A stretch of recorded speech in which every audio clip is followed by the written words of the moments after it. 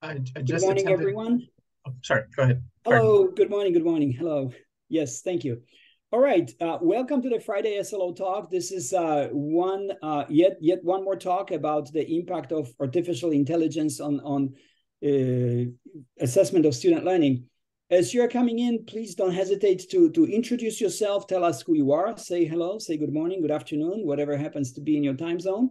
Uh, tell us what institution you are representing, and and and if you like, share share yeah pretty much anything you like to introduce yourself that would be great to have you. Again, we have uh, really a lot of people who have signed up for the for the workshops, close close, close to 400 people. So it's it's just staggering uh, number. But uh, just just to um, again, with, with a couple of logistics. As as always, we are making um, PowerPoint available. The chat transcript is available.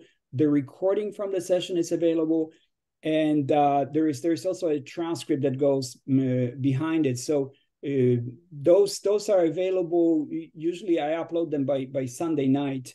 Uh, so you should you should have them either on coach's website in the blog or or uh, if not on Monday you're going to receive it with the with the flyer. At the bottom of the weekly flyer there are links to all those all those materials that I just mentioned. So please don't hesitate.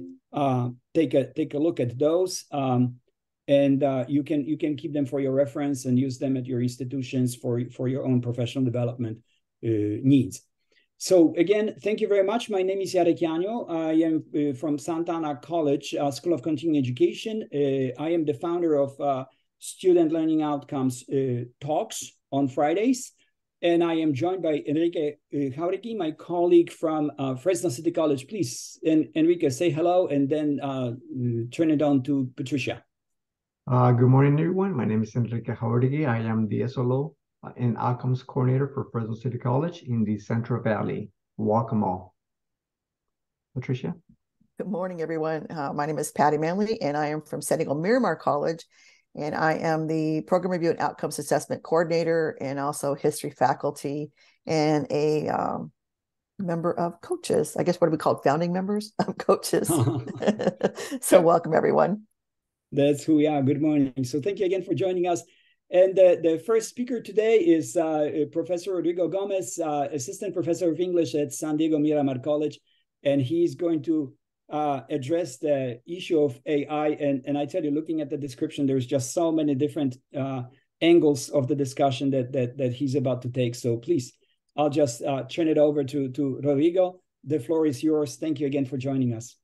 Thank you. Uh, yeah, I've shared the presentation. If you want to share it again, please do. And I saw something in the chat about no sound. So I'm not sure if I'm, I'm audible or if someone was not audible. But in, in any case, um, it, my name is Professor Gomez, Rodrigo Gomez. I teach at San Diego Miramar College.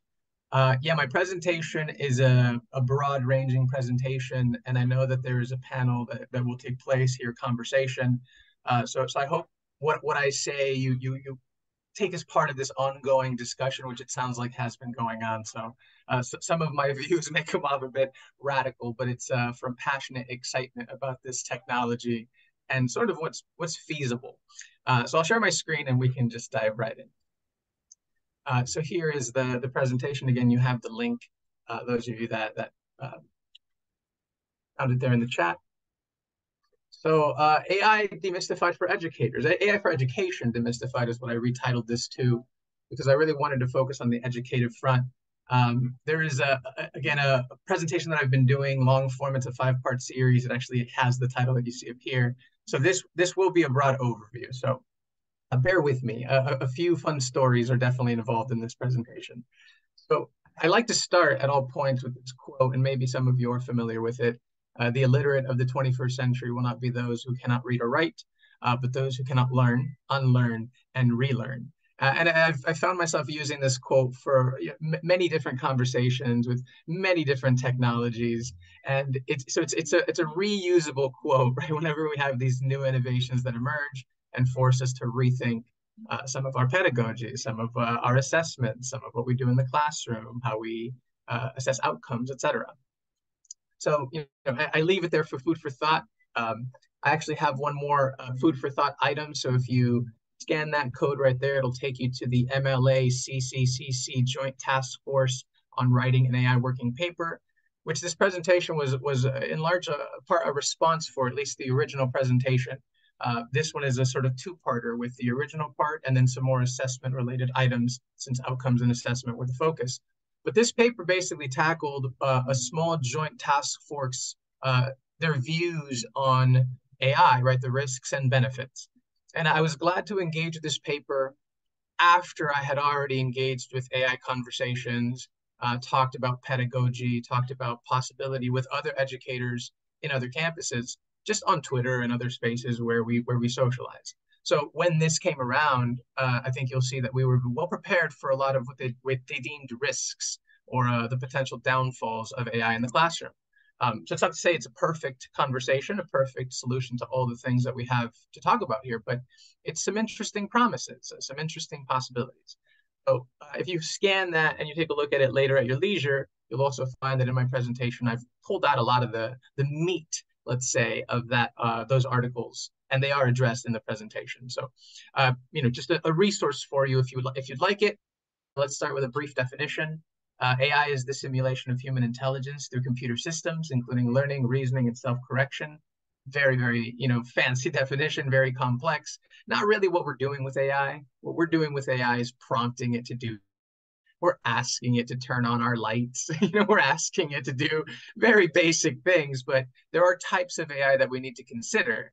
And the three types that that I've noted are narrow, weak AI, general strong AI and super or hyper AI. And a lot of this is science fiction, it, it turns out. So the two bottom ones are still being developed. They're not quite there. Uh, they're conceptual, theoretical, right? Eventually they promise to surpass human thought. Uh, for now, we're stuck at narrow and weak AI. Uh, that is what ChatGPT uh, you know, uh, very humbly even calls itself. If you ask it, what type of AI are you? Oh, I'm a weak and narrow AI. I can only do these things, right? So, uh, voice assistants, uh, Siri, Alexa, the things that we use on a constant basis, that's where AI is currently. But there is this conversation about what can it eventually do? What can it eventually lead to? And yes, development has happened with many tools. We'll, we'll sort of get there, but I just want to define we're still at the very base of what this can become.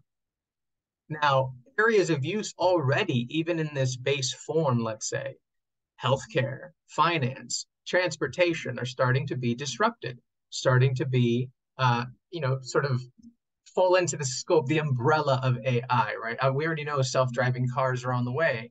Now, predictive diagnostics, I get those Instagram commercials all the time about the new type of uh, you know, healthcare center where you show up and they scan you, and it's very AI powered anyway. Uh, in finance, you have algorithmic trading, you have fraud detection, you have customers already that are AI powered. Uh, in transportation, like I said a, a minute ago, it's, it's, all sort of there. It's, it's feeding into this larger conversation. And now what we're here to talk about is AI in education. But again, in the interest of history, in the interest of really knowing what it is that, that we're talking about and not being afraid of what it can do or who it will replace or displace, I like to start at the beginning right? So AI conversations go back to the you know, the pre 20th century with philosophical foundations. You know, we're talking about the Greeks and the story of Pygmalion's Galatea, right? Bringing a statue to life, right? This inanimate object given consciousness. I mean, that's where it starts for, for those of us that, that love, you know, mythology and history. Uh, jump over to the 1930s, quite a leap. Uh, but we have the foundations of computational theory, you know, in the 50s, you have the birth of AI as a discipline. Now, I, I, some of this was uh, surprising to me because uh, the, the, dawn of AI, as we've called it here uh, in academia, is so like, whoa, what do you mean? AI has been around for a very long time. It just wasn't really dominant at the forefront. It, it was dormant until a few months ago when ChatGPT emerged and just disrupted everything. And we'll get to that in just a moment. But the 50s sees birth uh, of AI as a discipline. The 60s and 70s, we see early expansion. We have ELIZA, an early natural language processing system already in, in the 70s. Uh, this one here that I always mispronounce as well. By the 80s, we have uh, a winter of AI. So technologies tend to go through these rises and falls. Uh, by the 80s, we have uh, mimic detection making human experts uh, becoming popular. Japan's fifth generation computer systems were already outpacing human minds. You know, by the time we get to the 90s, we have machine learning emerging. Uh, already in 1997, IBM's Deep Blue had beaten the world's best chess pl- uh, player. You know, so it, it, wasn't necessarily new, but it was interesting to think about. You know, we hear these things, what AI can do now, and it's like it's been doing that for a while. Now we just have to think about how we we apply it ourselves.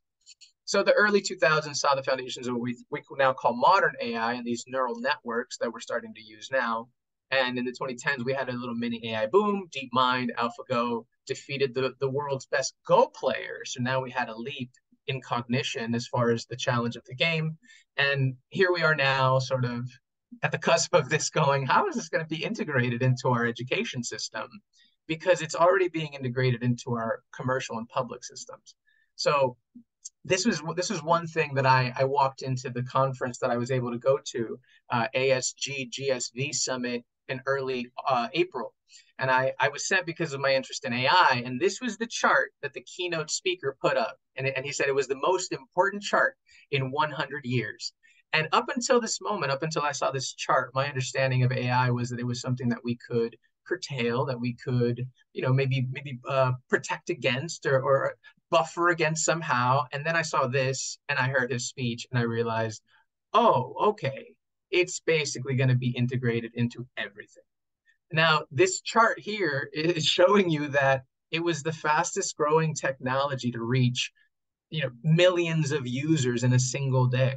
What took Netflix a few a few years to do, or, or a few days, 3,500 days, right? What it took Netflix to to do that, ChatGPT just straight up just shot straight up to hundreds of million. I think there was five million users within the first day or something. I was definitely one of those users myself, right? Trying to see what this thing was. So now to understand that that going into that conference was a different world than the one that was that was there post that conference uh, was very revelatory for me. So uh, that conference, a conversation about 100 AI companies that were already developing AI solutions. That was back in April. And all of these companies have since done so much more. You can you can look at, at a bunch of them. What are they doing? I mean, they're basically in every industry, right? Including education, by the way. So as soon as I saw that, I said, "Oh, okay. There's no curtailing this. We have to learn what this is." And it really made two perspectives that that I saw going into the conversation. So you know, I, I, like to throw in this little fun fact before I move into those two paths. Uh, Gannett paused an experiment. This is a, a CNN article about a, a, local newspaper that paused an experiment because they were using AI to report the news. so it's one of those situations where you go, look, students, this thing that I'm telling you not to use, this reputable newspaper got caught using it and it, it used it improperly. So it was very obvious that the AI made mistakes and they still published it. So this is the conversation that we're in as far as plagiarism and usage of the technology. It's being misused. Absolutely. Now, can we properly teach them how to use it is where is where I like to sit. So this is the the, the point of view, the two-sided point of view that I think has emerged when we talk about the rise of AI in education. And one of those points of view is, is the one that I like is that we now have the potential for AI writing, this new consideration to take into account about what is writing? What does it mean to write, really? And what are the potentials of writing, of composing, of constructing ideas on the page, or how, how we bring these ideas to the forefront, to audiences, right? Um, what does it mean to write? Who's doing the writing? Uh, just before AI, I was reading a very cool book by uh, Lisa Ede uh, that was called Writing Together and it was about how awesome it was to sit down and write with a colleague and compose together. And now I, I started looking at AI as a co-composer, right? How can you co-compose with people to see what you're able to do? Once I understood its limitations, I realized, ah, this is what you're able to do. This is what you're not able to do. This is what I could use you for. This is what I could not use you for. And so the potentials, right? Something to consider new writing techniques that have emerged. As writers, we always have to consider the ways new writing technologies are transforming our learning, our thinking, our, our the way that we interact with each other. This goes back to writing itself as an early technology, right? We can go back to Plato's disdain for the written form, right? We can go back to early 2000, what, 2004, we get that article, and is Google making us stupid? Well, yes, it was in a certain way, right? But but here we are again in this conversation of what is AI going to take from us? Well, maybe it can give us something if we see it a certain way. So new writing techniques emerge. And how do we talk about writing now that writing that AI is here?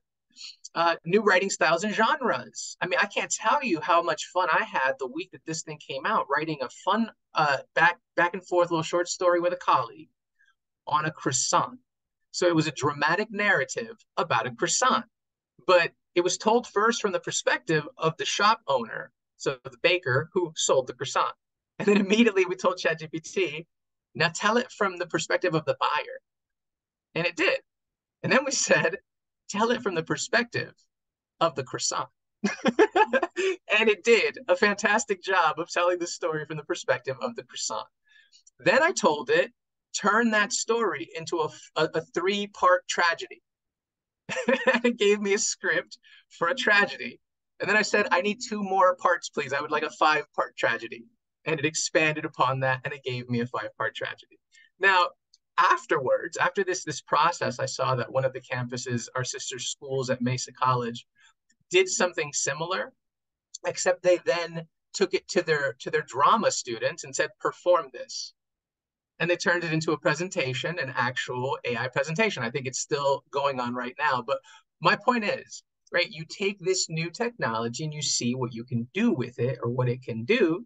And this is the potential side the, the potential that sees that we must adapt in some way. Now, let me tell you about the other side, and then maybe we'll take a quick pause because I see a lot of chat. And so maybe there's something there uh, that we would like to, to discuss. But uh, here is the other side, which is actually, sorry, one more bit on the, the this side, right? You had new literacies like prompting emerge. So this was the big thing that, that came out was like, what is prompting and what does it mean to prompt?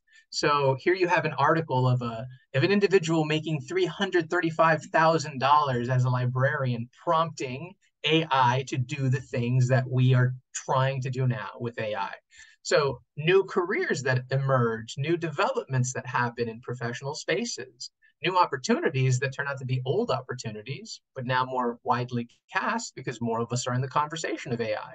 Now, down at the bottom there, there is a link here as well to learn to prompt with AI if you go to this website, I mean, it basically runs you through the entire prompt engineer situation. Learn how to prompt anything in any way. So it's a resource that I've supplied here in the presentation. You you should definitely use it. It is not my own. I, I found it in the public domain, but I've definitely given it a, a look over. I've seen what's there. Uh, it tells you about image prompting. It tells you about advanced applications, intermediate, basic. It's got a full suite. And it's just people trying out this technology and seeing what they can do with it. So it's there for your for your later enjoyment.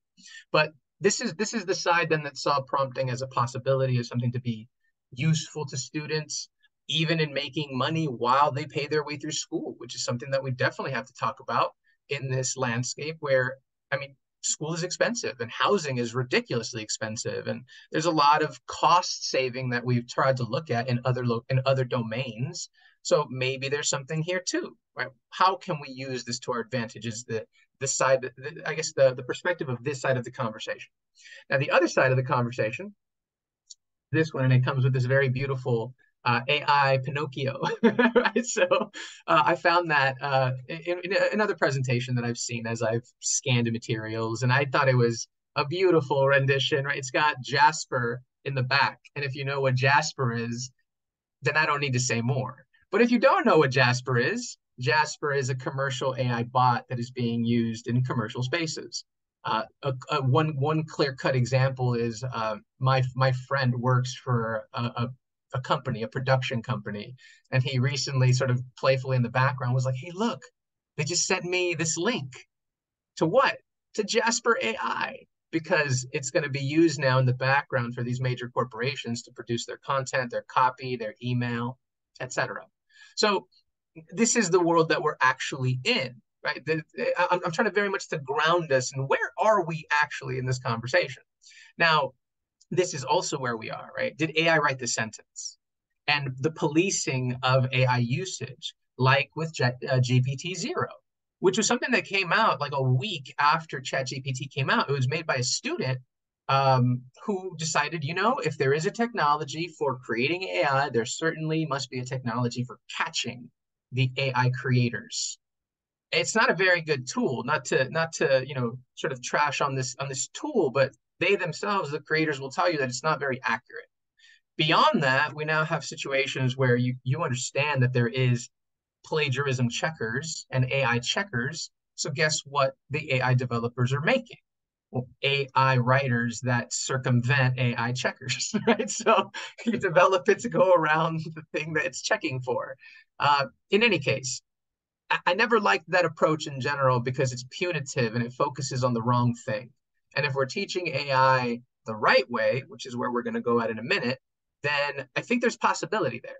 And these tools will emerge and they will be there and they will be developed for those of you that want to use them. I mean, turnitin.com is already integrated this this turn it this ChatGPT checker. Uh, some of you have tried it. Some of my colleagues have tried it. The results are not great from our sort of single, you know, uh, examples. So maybe we need a whole collective body of these results to see if it is accurate across. Uh, but it's it's it, we'll, go into some of the the detriments in a minute. But I definitely wanted to to pause there and see if there's any questions to address, and if not, I can keep keep on rolling. Uh, this is uh, uh, Rodrigo. This is just excellent start, and and and and I tell you, this question of of plagiarism and and you know what are we doing now, kind of a thing. It just keeps coming back, right? And and the issue here is that again, we we are still in this mindset of us versus them, or you know, I will learn from you. But when it comes to Chat GPT, I treat it more like a Google, right? So I ask a question, whatever it gives me, I'm done. Uh, uh, uh, uh. You can have an ongoing, intelligent conversation with the entity, right? And I think that's that's the part that's kind of like missing here that that we are still getting used to, maybe maybe maybe that way. So if you could please uh, just just for a sentence or two elaborate on this uh, aspect of of uh, the fact that we can actually ask you know ChatGPT to write something that that cannot be detected by other you, you know AI instruments.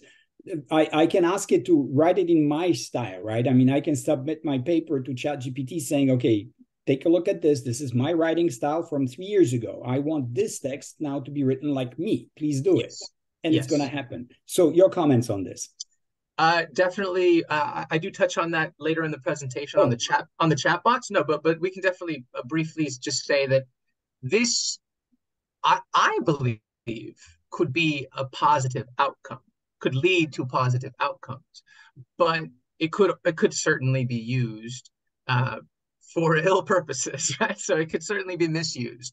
But uh, the potential uh, for creating a chatbot that sounds like you that thinks like you, that assesses content like you, is the is the promise of these chatbots that can re- regurgitate the process without being tired, without falling victim to some of their own subjectivity or to their own humanness. But we'll get to that as well, right? So I think I think it's a great point. We definitely can train these things to do what we want them to do.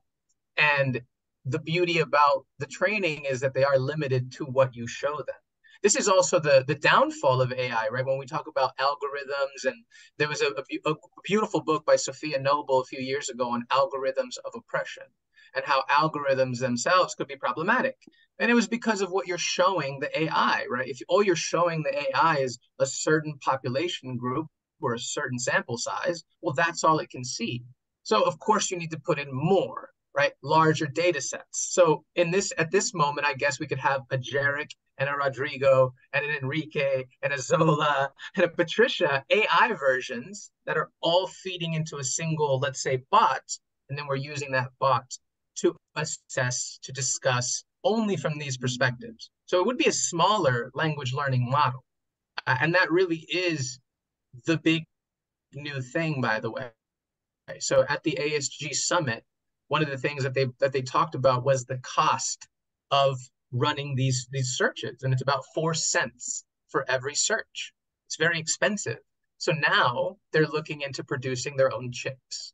So chatgpt will start producing hardware. Now again opportunities for new um, i mean careers even for students who are interested in cybersecurity and production, manufacturing, et cetera. And yeah, we get into conversations about robotics and what those will do to those jobs, but this is the reality that we're in. So we should have those conversations, is sort of where I'm situated. So let, let me continue, but I will get to that point in more detail uh, if that was the, the key the key concern there for sure. But let me just jump right into the problem with the plagiarism view. These are our new AI powered tools.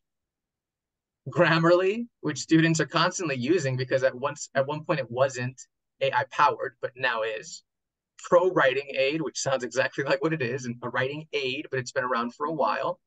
You know, you've got Google Docs, Google Docs, yep, Google Docs, and Microsoft Word.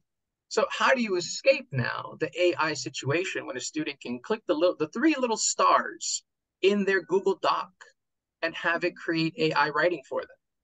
How do you escape that? Do you do you ban Google Docs and Microsoft Word from the classroom? Do we return to pen and paper? We we certainly could, right? But maybe we transform what we're looking for instead. Maybe we assess for something different instead, a higher order thinking that's still possible through these tools and using these AI powered tools. But maybe it's not the direct composition anymore. Maybe now it's something else. Now, I don't have an answer for what that is directly, but I do have possibilities and suggestions and you know creative approaches and that's all that anybody has right now. So let's let's continue here with some of the promises of AI in education. Include improved learning outcomes. I mean, is that raise your hand if that is a desirable outcome, right? Like, yeah, please. Uh, increased efficiency. I I certainly would love to be more efficient. Real-time insights, which will lead to real-time efficiency, but increased efficiency because you know I teach six, well, five to six classes every semester, 25 students a pop, each one submitting essays that are five to six pages. That's a lot of pages. That's a lot of pages. Now, you have rubrics and templates. How would this be different than a rubric? Is an excellent question. Because if you've primed the bot to see something, that becomes the rubric, that becomes the template that it will assess against. So I think every single one of you in the room has a template. Every single one of you in the room has a rubric. I mean, I I, I would I would take that bet so that someone would raise their hand and say, I have no rubrics. and hey, I, I, would applaud you for your creative approach to the classroom. But I, I think we all have rubrics and we all have templates. And so if we fall back on those as as an automated version of what we've already done with our templates and our rubrics, then maybe we can find some middle ground here that isn't polemical. But how can it help with time constraints? Well, grading requires significant time investment, especially for educators with large classes. So sometimes we find ourselves fighting for like smaller classes, smaller classes, smaller classes, right? Now, why would that be? It's certainly not because we don't love teaching large bodies of students. I would teach 100 to 200 student classes if it wasn't because I had to assess that many essays. Like that that consistently, right? Three papers a semester plus supplemental writing. It, it's a little bit different for those of you in other disciplines, but I'm thinking through my discipline going, listen, we get the writing in loads. So how do we deal with this? How could we deal with this? Now, what about pressure and stress? I mean, that leads right right into that point, right? How many of you are overstressed, overworked? You're feeling quite overworked. You know, here we are on a Friday trying to learn some more, right? Hey, we're all overworked. Absolutely. What if these tools could help us facilitate or streamline some of our processes to reduce pressure, make us all happier? And then guess what? You walk into the classroom with more energy. You're working with your students with a better positive attitude, even. You're not rushing back and forth to grade papers or to, you know, etc. Now, what about subjectivity? We get into the the issue of you know, again, how many papers are you grading? How exhausted are you going to get? Are you going to grade the very first one the same way that you graded the 155th paper? I don't know. I don't know. And those are questions that, you know, we get into the, the politics and the polemical issues of grading. But again, I'm trying to be absolutely real with every single one of you. Like these are real questions that you have to ask yourself. So what if we could be consistent, but we keep the rigor and quality up, right? What if? I'm offering scenarios, no guarantees because you'll see the tools are lacking, but they promise a lot. How about holistic assessment? Right, sorely relying on traditional testing methods, we've already been down that road. We've changed how we assess. We've got multimodal assessment. We've got uh, different approaches to creative assignments, all you know, project-based learning, uh, learn by doing, uh, flip the class, all of these different things that we've done to try to increase our engagement, increase our, our ability to assess student thinking. This is just another one of those. And it, it might promise to synthesize some of the other ones, but we'll, we'll get to those possibilities in a minute when we go over some real examples. So here, here we're sort of leaning towards the real world examples. Uh, adaptive content and assignments are possible if you create AI powered assignments. So imagine uh, that AI systems can analyze students' learning history, their strengths, their weaknesses, their preferences. And based on this analysis, you can adjust the content for each one of your students. I know that I've tried to do that already in my classroom as I've you know asked them what their interests are and tried to see how I can cater to those interests with the subjects and topics of my class you know with, with the writing and the composing that they will do within the workplace or in real professional settings or in real social settings etc so that would be great to know what do you actually need from this class and how can I adjust the material for your particular learning? Now, that is a time consuming process if you're doing it one on one. But if you're automating it to the machine who will gather that data for you, I mean, then you then you understand the exact composition that's inside your classroom. What student? What are they what are they strong at? What are they weaker at? What do they like? What don't they like? Where will you lose them? Where will you bring them into the classroom if you're talking about certain subjects or approaching them in certain ways, etc. These are insights that this that this thing promises. Instant feedback is also another major thing. Again, do you have to take those quizzes home to grade them and assess them and do that whole? Yeah, of course. So what if you had an AI version of you that has already gone through the assessments, has already been fed many examples of good responses and bad responses or underdeveloped responses and it can spit out the feedback that the student needs. So then you can sit with them and talk about that feedback. It doesn't replace you. In my mind, it never replaces you. It simply gives you a tool to then talk to the student more holistically, more specifically. Hey, here's where your issues were. One, one clear-cut example of this I do show down below, but let me just share the, the story. I had a student who uh, is is, an L2 learner, is, is English is their second language the story that they wrote was strong, very strong. The grammar was very, very underdeveloped, right? They need a lot of work with grammar. So I ran the paper through ChatGPT. I told it, only correct the grammar, please. So it did that. Then I gave that student the version of that paper. I said, look at the differences in verb tenses and consider the, the, the syntax of the sentence, right? How would you adjust yours to meet this new one? So that was a, a sentence level exercise developed on the spot. But here's where the magic of AI happens. Then I told it, highlight each of the grammatical errors for me and create a correction for each one with a description for the student about how to correct this same grammatical error in the future.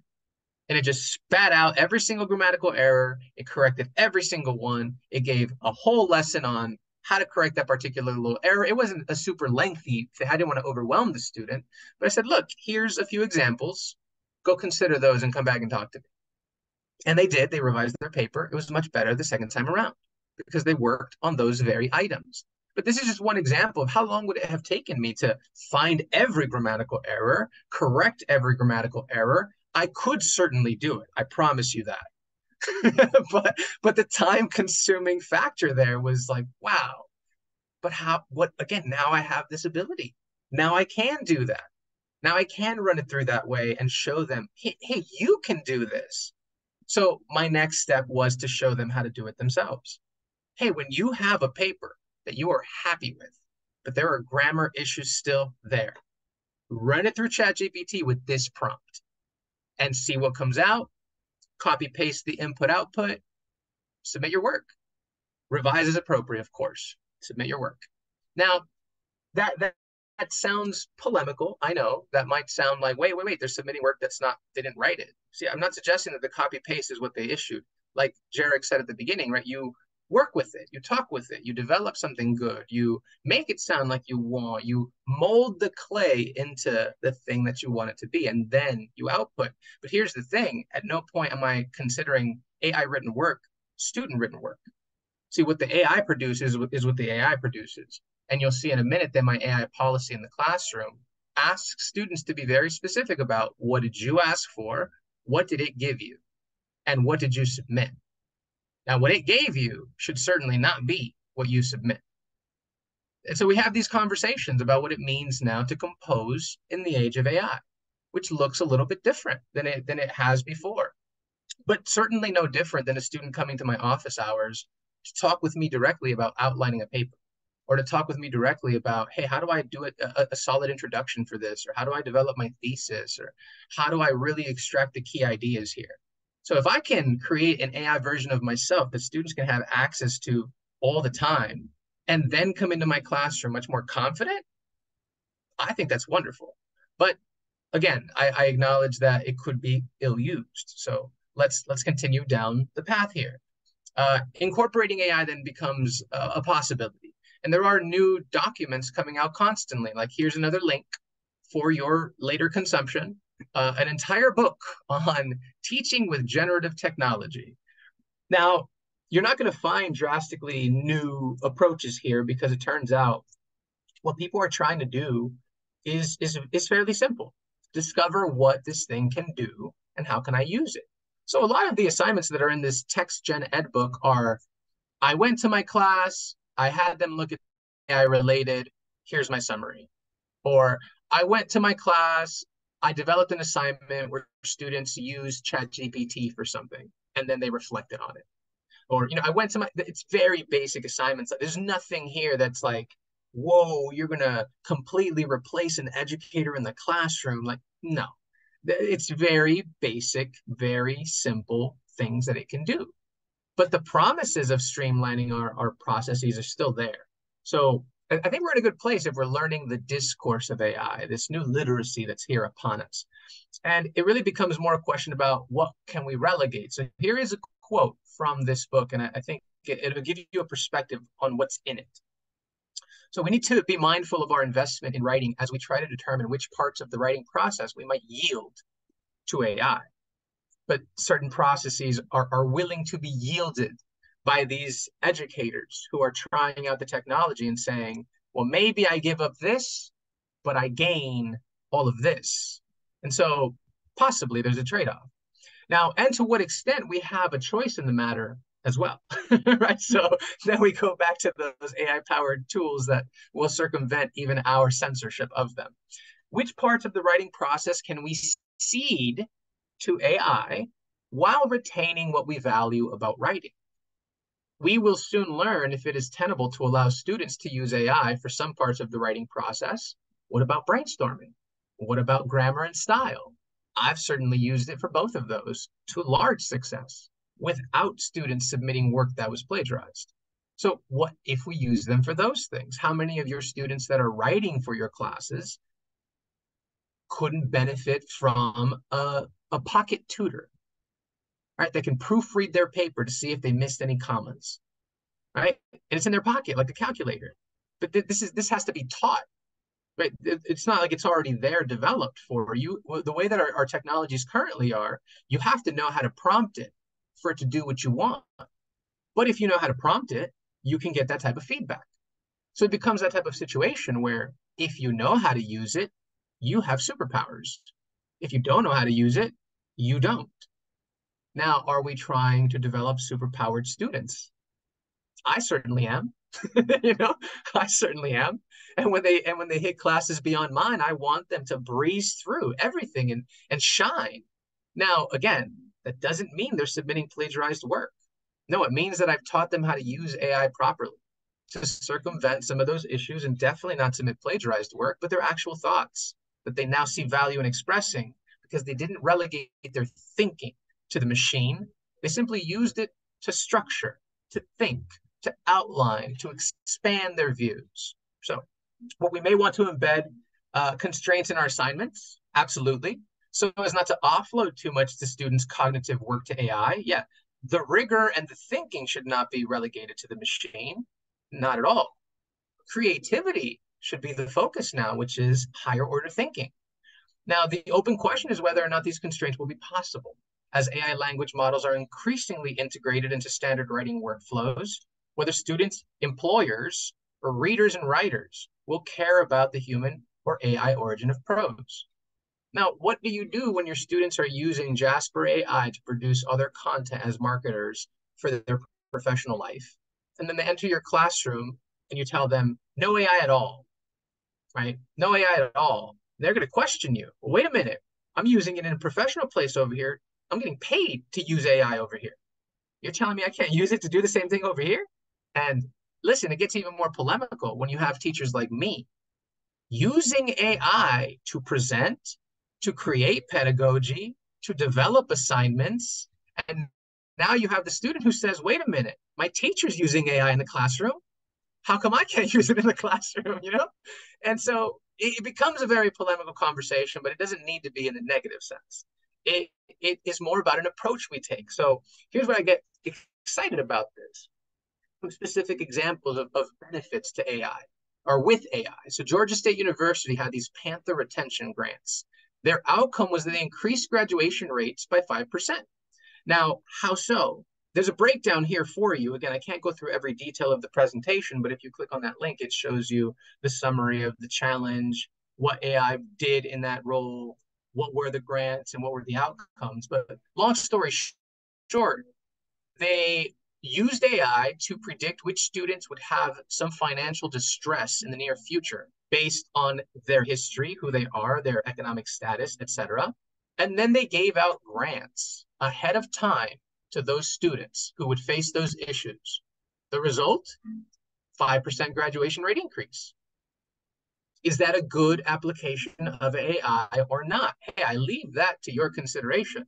But from where I'm standing, I'm going, damn, 5%, and they helped people not face financial crisis because they predicted some issue they would face. Wow. I wish we could do that for our students. Why aren't we having that conversation? Now, let's go to Arizona State University where we had a pilot uh, where they ran, you know, um, they ran this pilot. Again, you can click on the details here if you want more details than what I'm giving here. But point being, coursework was uh, completed 20% faster not by all students, but by some. Now we get into the conversation about what about those students that are ready to just breeze through your content because they are prepared? Should you hinder them? I mean, we, we can have that conversation as well, right? now let's go down to the University of Michigan. Automated essay scoring, the big polemical, ooh, right? Wait, is grading going to somehow be relegated to the machines? Well, it's not perfect, but this AI tool did some reliable, valid scores compared to human grading. But see, I'm not surprised by that when I understand how we prime responses, even as educators who are assessing students in our classroom. You know, I've sat down with at Miramar and we've primed our, our responses. We've seen, is this a one, a two, a three, a mm-hmm. four? Great, let's talk about how we primed this entire set of student responses. And now when we assess them, we are all, wait, it's like we trained ourselves, we prompted ourselves, to do this work. Well, AI can do that, can do that too. That's how you can use it. So it's not a perfect example. And the tools are definitely not there for commercial application. Like it's not like you can just go pay a software that will grade papers for you. So we find ourselves in a situation where we have to work with the tools as they are. So learning how to do this with AI has been something that I've been working on myself. How can I streamline assessment? How can I have it grade for me? I'll tell you, disappointingly, it doesn't work. it doesn't work. It takes much longer to gain consistency if you're using ChatGPT. Never mind Bard or none of the other ones. They're less consistent. But even ChatGPT, right? You prime it, it gives you a few responses that are consistent, and then it starts trailing off and doing something else entirely. And you have to remind it, hey, wait a minute, what, you, what you're doing now is not what I asked you. And so there is this ongoing uh, situation, this ongoing conversation that really happens when you engage with AI uh, and you determine what it can do and its constraints. And I, I spent like two hours trying to really get my assessment to where it was through the machine, right? I graded the paper myself. I ran it through the machine a few times to see what do I have to do to get you to say what I said, to assess it how I assessed it. It took hours, and the result was not great. so, you know, if anybody's got greater tools, please send them my way. I, am eager to try them. Uh, but in any case, let's go down to more successful applications of AI. This is where we were talking about the chatbots that Jarek, uh, Jarek you brought up. How can you train these? Well, chatbots can allow educators to provide round the clock support for students. Now, I did say can help educators, right? Not replace us, not speak for us, not teach for us. Harvard is doing their first AI taught, completely AI taught class fairly soon. Not that, rather support while we are sleeping, when students are sometimes awake and logging into Canvas at strange hours. But hey, they have their own schedules. So why not have a tool for them there that can support them if they're there? It's like putting up your information on a module in Canvas and it's just there offering support. Now, virtual classrooms are another one, right? So if you uh, email me down below uh, at the bottom of my email, you'll find a link to muse.play slash the Syllaverse. It's an immersive web space. Uh, it's a virtual world. Now, how can we use these AI chatbots eventually to immerse students into these virtual worlds and have them engage with maybe AI versions of ourselves? At that point, they'd be using new tools and emerging technologies while addressing old concerns of composition and writing and the same creative and critical thinking that we've had them do or, or want them to work on. Smart content personalization, we've already gone over a little bit. So the idea that you could cater adjustments to students, right? Specific students who maybe want more. What about those honor students in your class that sometimes want additional rigor? They want higher, uh, you know, higher, cha- more challenges, right, in the classroom. They want to work harder. Great we some of us are already doing this differentiated curriculum for some of our students in the class via honors contracts. So now just imagine that this could be a streamlined version of that. Hey, tell me a few things about yourself, a few things about your interests. Let's personalize this lesson plan for you. Um, and remote learning opportunities as well. I mean, now I'm just thinking about creating an AI version of myself that looks like me. Uh, I was showing Patty actually, I think she'll, she'll vouch uh, for my Aristotle I, uh, I teach rhetoric in my classes all the time, so I decided to make an Aristotle uh, and to have him speak my lesson plan for me. And so at the beginning of my rhetoric, uh, you know, uh, module, I'm placing him there now. Students will press play, and he will tell them about the, the three main reasons why they need to understand rhetoric. And it's my lesson plan. I simply took my lesson and I, I created a soliloquy on rhetoric in the style of Hamlet that Aristotle speaks. right? So it's a very very fun activity and students have enjoyed just asking like what is this how did you make this and how can i make this and then i think that's the right question right how can i make this yes let's talk about that so remote learning then would be empowered by this ai bot of myself that would be there just hanging out in a virtual space supporting students all possibilities not fully here yet, but possibilities. Does it sound intriguing to you? Is my question. Now, another, um, sorry, let me go back. Actually, I had another example here. Um, AI-based grading assessment and tools now include things like turnitin.com, which we've talked about. So it can detect uh, Edmodo is a good example of an AI-powered tool. So some of you have used Edmodo. You're like, wait, now Edmodo has AI? Yes. so uh, they, they've applied now, they've plugged in the AI, let's say, to make the tool better in some way. At least it was their, their view that it would be better. And then finally, Quizlet, which I tried the other day, so I had a little asterisk. And uh, it was pretty good. It made some quizzes. Uh, it takes your content and turns it into learning aids. Is that useful application of AI for your classroom? I certainly am thinking of more ways to use it. Like, wait, I want to have my students practice these ideas? What if I had Quizlet just create materials for me that I don't have the time to make because going into Canva just takes forever? Wait, Canva just integrated AI too. So we don't have to worry about that problem. right? So there's all of these new things that are developing, is my point. So what does that mean? Um, we can try to experiment. Uh, it means that these are some of my experiments. I want to show you directly what I've done. So this is one of the prompts that I created. And you can take this and copy paste it right in the ChatGPT if you want to. That's how I have that's how I've used it. So uh, use the following criteria to evaluate student writing and to provide feedback for improvement. Here are the key criteria. So these are the things that I, again, actively look for in my rubric. So did they provide an adequate summary of the story in question? Did they extract keywords and phrases with some direct quotes? Did, are, they, are they assessing the author's ideas, noting limitations as well as where they agree? Right? Should they be show uh, are they showcasing an example of their own, as I've said that they should? And double check the grammar for me to see if there's any issues, right? So literally copy, paste that first, and that primes the bot to respond to you. Then submit the student writing, copy paste. And it'll give you some feedback. Now, again, it's not perfect feedback. Uh, I've done a few of these post grading the actual student writing, again, to see how accurate is it to what I would actually say to this student because that's where we are right now, as far as I understand it. I'm definitely eager to hear from the other presenters and see where where sort of they've taken this conversation. But it's we're in experiment mode. So let's try this out and see, oh, look, it's not actually accurate. Look, it's actually flooding this way. Oh, look, can help me with this, but not with this, and determine how best to use it. So may, maybe now it's about teaching AI literacy instead of policing AI usage. Now, what that would look like could be something like this. So here's an example of, uh, again, another back and forth activity. Here's me telling it, I've completed my draft. Please proofread it for any errors or in grammar or tense.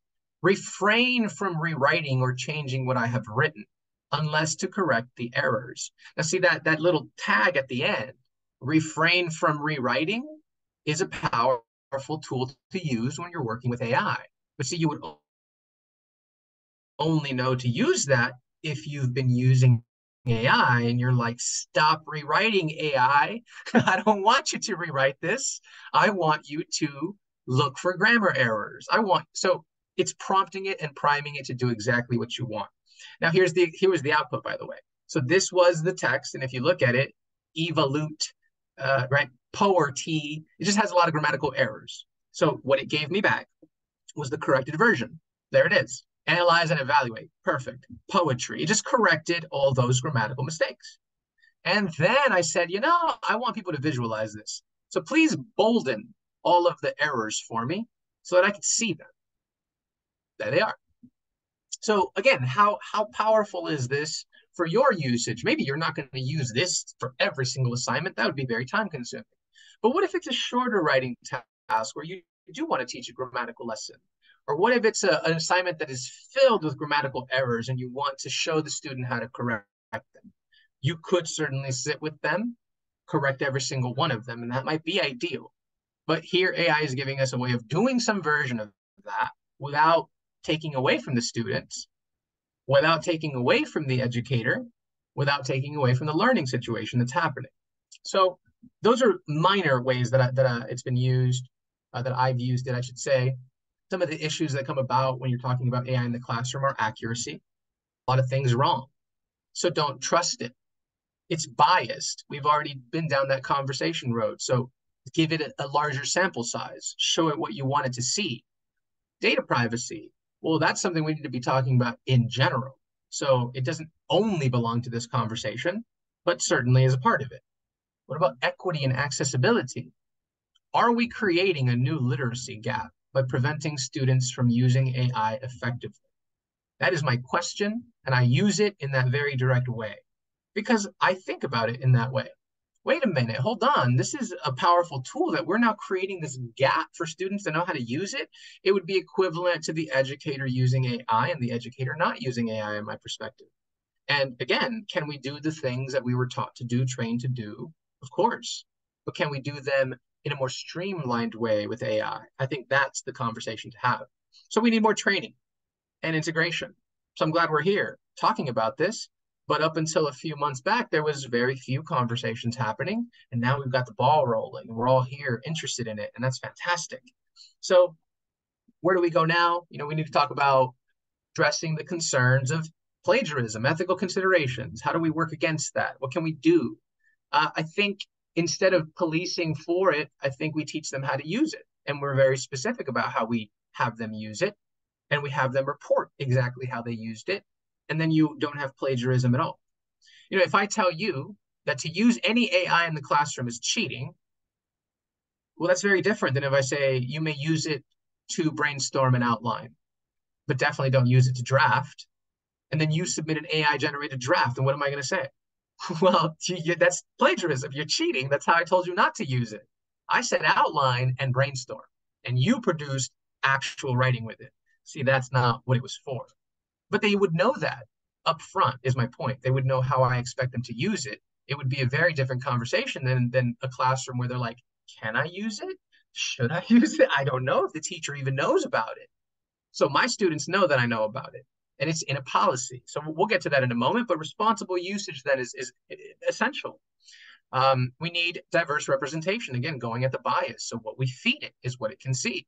And human-centered, very much like my colleagues who do the online, uh, humanize online. Absolutely. Can we humanize AI? I know that sounds contradictory, but maybe we can. Let's humanize how we use it. Now, tools and resources here, just to conclude, because I, I do see I'm close to the hour. Uh, tools and resources really go at that MLA CCC document that I told you about. So if you haven't seen it, there is another link to it here. It's a PDF. Uh, and I pulled out what was considered to be one of the main risks. Uh, students, teachers, and profession are, um, sorry, the spread of misinformation, the biased outputs, the privacy and copyright violations, and the environmental costs all of which I think we've talked about at some point in this presentation. Now, all of these concerns affect our students and should inform our responses as educators. We will focus here on potential risks to students, teachers, and the program and profession itself. So again, I, I extracted what are the main concerns. And let's just read one or two of them so you understand what they are. Students may miss writing, reading, and thinking practice because they submit generative AI outputs. Absolutely. Except we've already talked about the fact that I don't have them use it that way. I specifically tell them not to have it generate writing for them, but use it to brainstorm, use it to outline. That's fine. Students may not see writing or language study as valuable since machines can mimic these skills. Certainly, if they don't understand the limitations of the machine, if they don't understand that the prompting skill required to prompt it well is a part of learning syntax and grammar and literacy. You have to do it with your statements, your sentences, your organized thoughts. That's how you prompt it. Now, there will be no coding options coming pretty soon. I'm sure check a box and it does what you want. But if those tools are coming, then let's teach them how to use it the, the original way through the prompting, not these things that are built on top. Now, risk to teachers you know, teachers may be asked to make significant changes to their practice without adequate time, training, or comp uh, compensation for their labor. Again, here we are on a Friday learning about AI and, and really talking about it long form, but we're not being compensated all the time. We are stressed out. We have papers to grade. I've got a stack of three classes waiting for me after I hop off this presentation. You know, so it, it's one of those things where could we use it to streamline would be a better a better uh, point of discussion. What about the pro the profession itself? It talks about how it will be diminished as a discipline for X, Y, or Z reasons. I will have you look at those reasons. The only reason I'm breezing through is because when you get to my syllabus policy, it addresses 90% of the concerns in that document. So what does my syllabus policy look like? This is what I have in my syllabus, and I tell my students, this is how you're going to use AI. Artificial intelligence is one of the emerging Web3 tools that promises to shake up both the academic and professional landscape. Regardless of how you feel about it, learning to use it well is an emerging and valuable skill. That being said, you can expect to use AI in my classes ChatGPT and Midjourney AI at a minimum, please be aware of these three things. Number one, if you provide weak prompts, you will get weak results. You will need to refine your prompts in order to provide good outcomes, better outcomes. This will take work. It's not an easy thing. Number two, don't trust it at all. Don't trust anything it says to you. Assume facts that it gives you are wrong unless you know the answer or you can check it with another source. Any mistakes that it it does provide, you're responsible for. you need to fact check yourself. You need to fact check ChatGPT for sure. Now, finally, any AI use must be acknowledged. Please be sure to include a paragraph of any assignment that uses AI explaining how you used it, what you used it for, what specific prompt you put in. So, what was your input and what was the output? Here's what I said. Here's what it said. Failure to do so is in violation of academic honesty policies because we've already talked about what plagiarism is. And I've already told them not to submit work that is AI generated. So they can think through the AI, they can brainstorm through the AI, they can organize through the AI, but if they're if it's writing for them or thinking for them, that's the wrong application and it's right there in the syllabus. And they sign a contract at the beginning of the class saying that they acknowledge and understand this. So I'm not really policing them after this point because they know not to use it that way.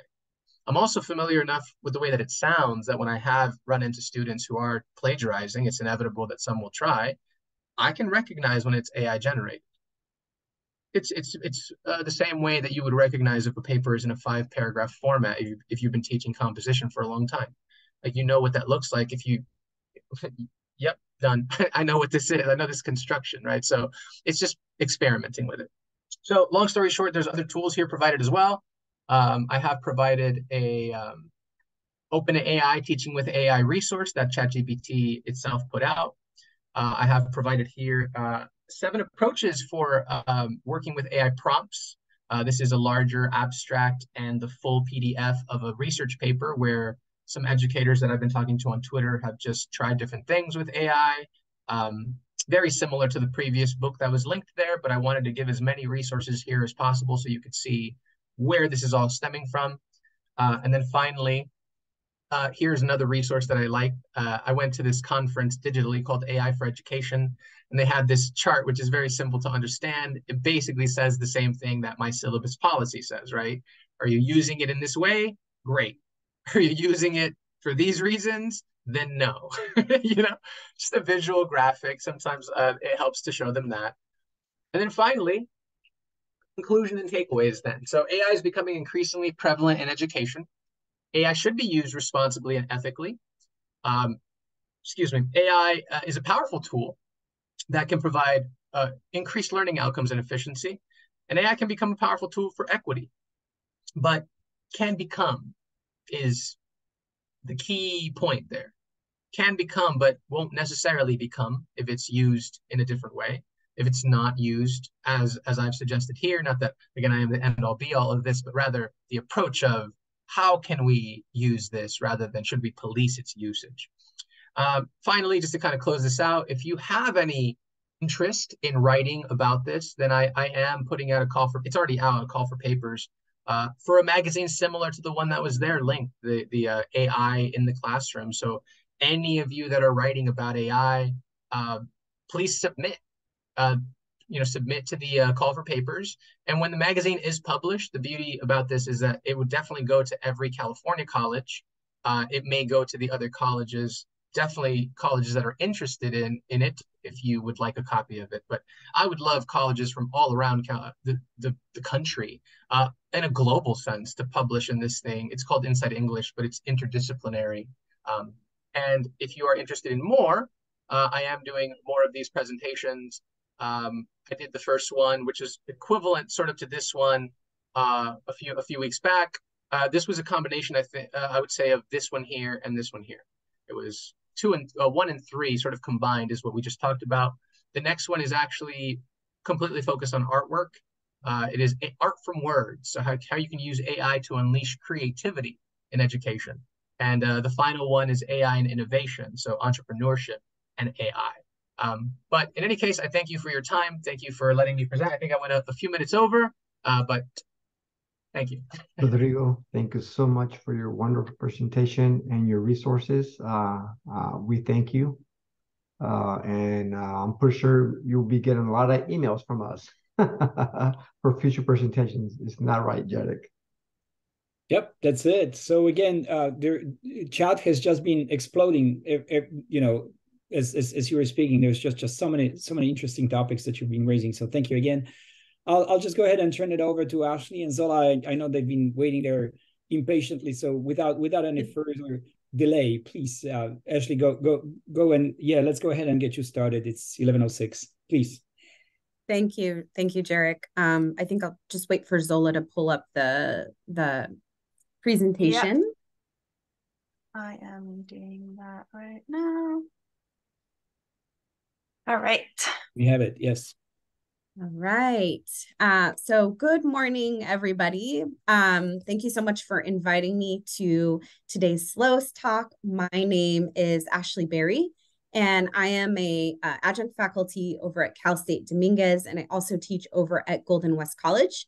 I'm also the CEO and founder of the Higher Ed Institute, which is an organization that um, promotes um, the exchange of ideas and high impact practices between educators. Um, and AI has been the the focus that um, uh, myself and Zola, uh, us as a dynamic duo, have been working on mm-hmm. for a, a, probably a little over a year.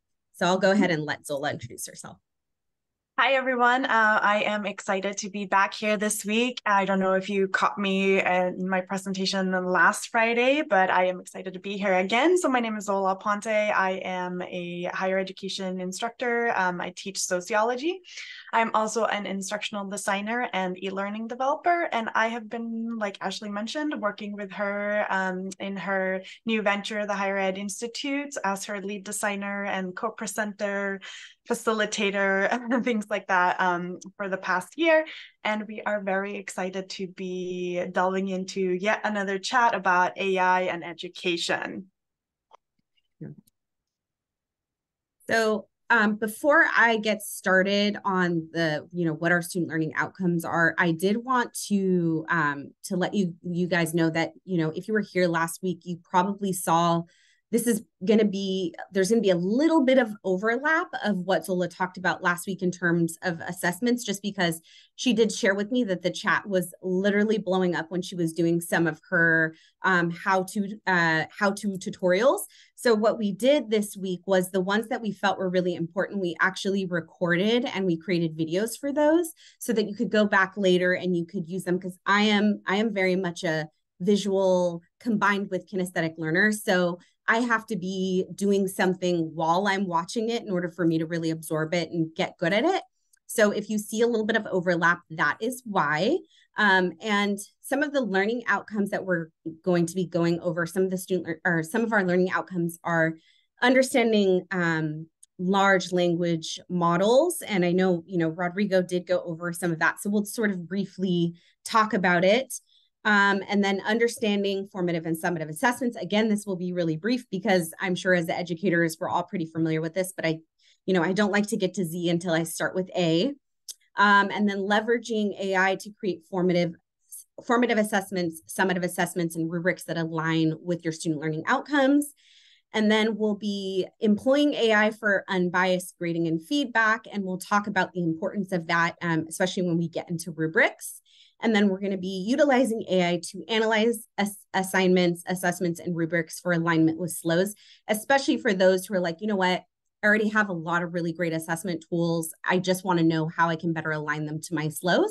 So that way you're not really reinventing the wheel, if you will. Now, um, we're going to ask you guys just because we're curious about our audience. And I always like to know kind of who I'm dealing with. So if you guys could do us a favor and scan the QR code and tell us um, if you have used any type of artificial intelligence for building assessments or grading assessments. Okay, so we'll give you just a minute to do that.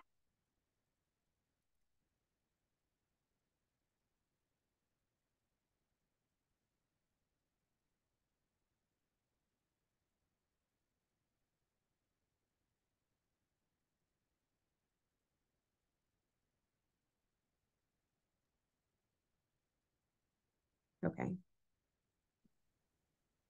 Okay, so so so far we have we have quite a few respondents who have um we have about 50%. So we have 17 folks who've responded.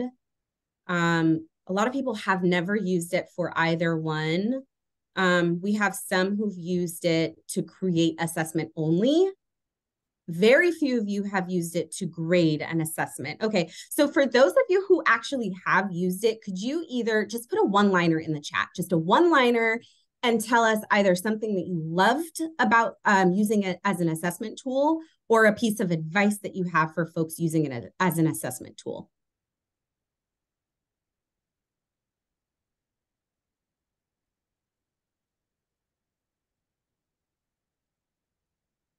Okay. So um, while you guys do that, um, just because, you know, I love like all the interaction between folks. So I always feel like, you know, this is a good way to kind of get started to get the get jumped off into the into the into the conversation to know who's doing it and who's not and what what types of experiences that we've all had with it. Um, one second. Okay.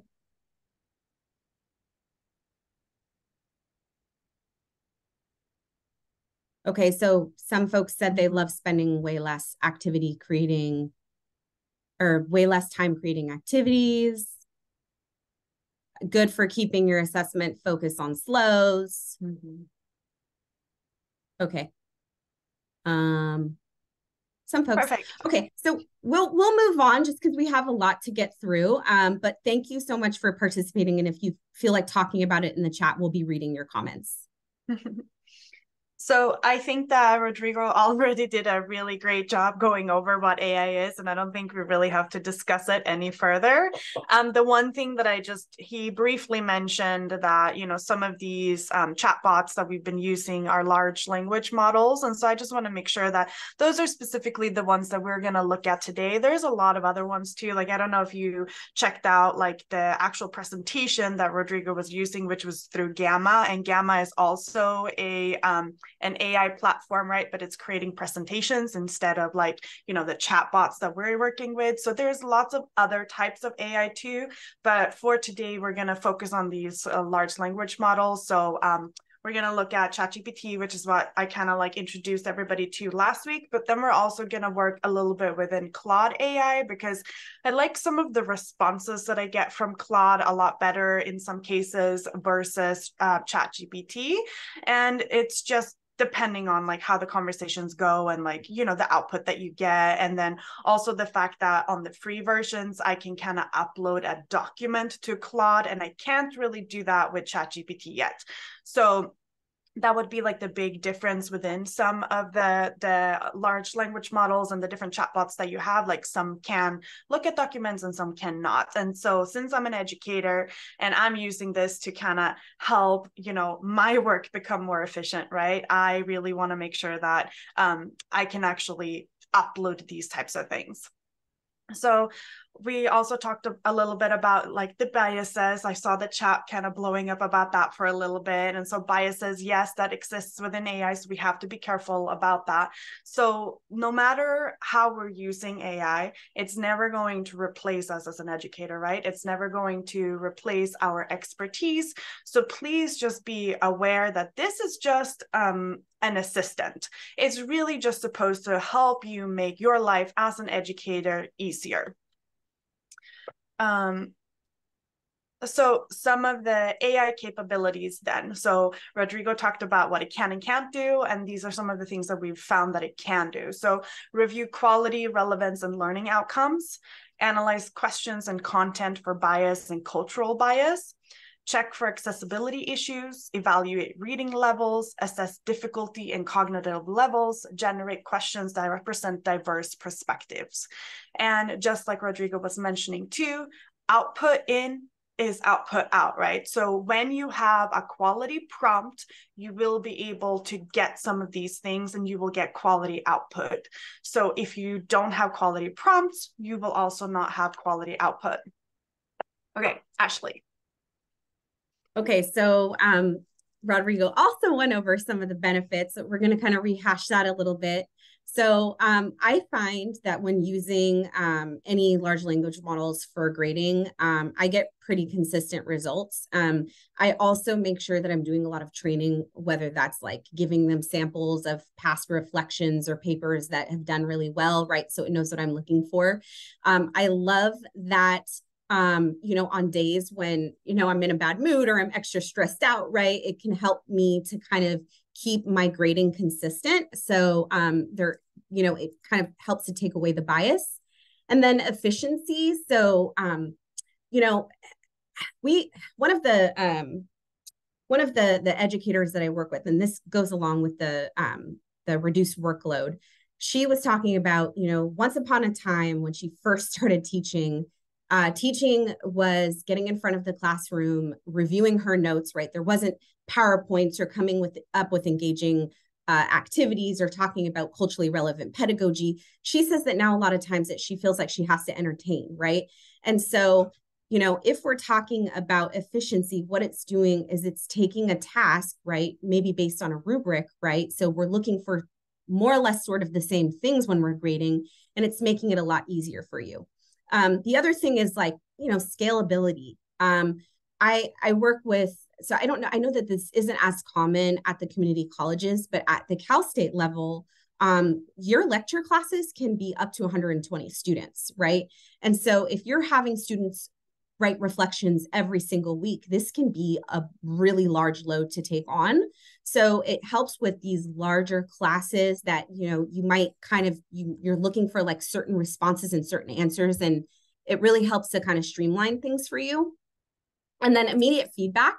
Um, I've been in higher, you know, I've worked in higher ed for the last 10 years. And probably the biggest complaint that I got when I was working in the student services side, right? Because they're not going to complain about me as a professor to my face. Well, usually they don't, anyways, is that they would say that their their teachers would take forever or not at all. They wouldn't be giving them feedback at all, right? And so of course we all have really busy lives um, but th- kind of the thing that they would tell me is, is like how am i supposed to improve or do better on my assignment if i'm not receiving quality feedback or or any feedback at all right and so this really helps to bring about kind of like robust feedback um, so that our students are are learning and kind of gaining the skills that they need to be successful in our classes um, and then objectivity right so um, we all have our favorites, right? We have the students that sit at the front of the class. They're always raising their hand. They're always answering questions, right?